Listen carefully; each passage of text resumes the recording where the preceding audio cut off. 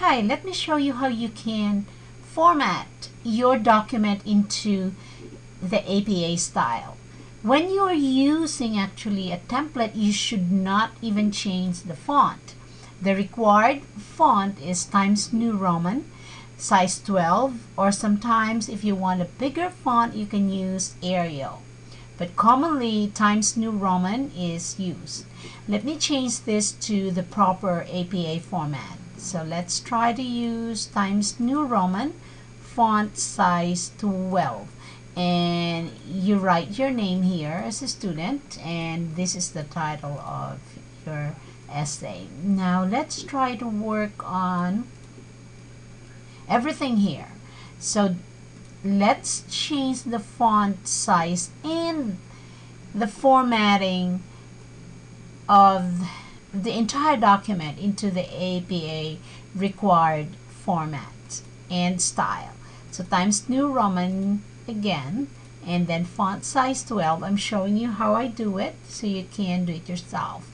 Now the spacing must be double space all throughout. So as you can see I tried to select double here and then zero point we bring this to zero point and we click on don't add space between paragraphs and we click OK. So remember from here you click on paragraph and then you select double, double space.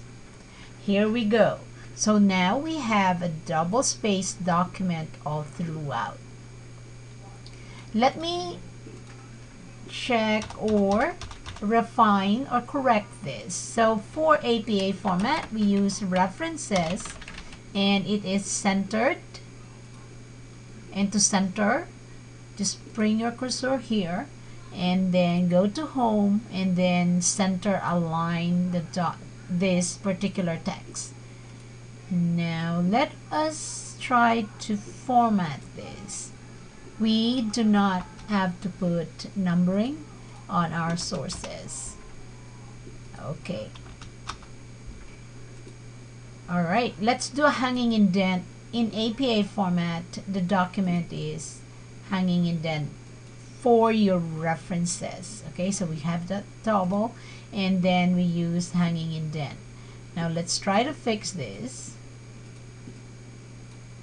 Cancel that here we go. And now we have a double uh, a double space reference list and hanging indent which is the opposite of this indentation okay. So now we have a properly formatted document. So I hope that this helps you format your essay. Now let's try to work on this Okay, let me just show you how to edit the header. Click insert and then click on header and then, hmm, I have to show this to you. Okay, let me just bring this up. Yeah, bring this up. Okay, so insert, click header and then you need to select an option which says edit your header and when you do that you can correct the font here. So don't change the font into font size 11 because that is not according to the APA guidelines. So okay.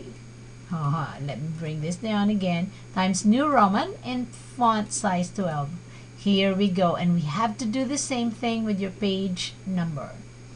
Font size 12 and Times New Roman okay and we also tried to edit this um, starting page 2 for your header. Now we have a completely APA formatted essay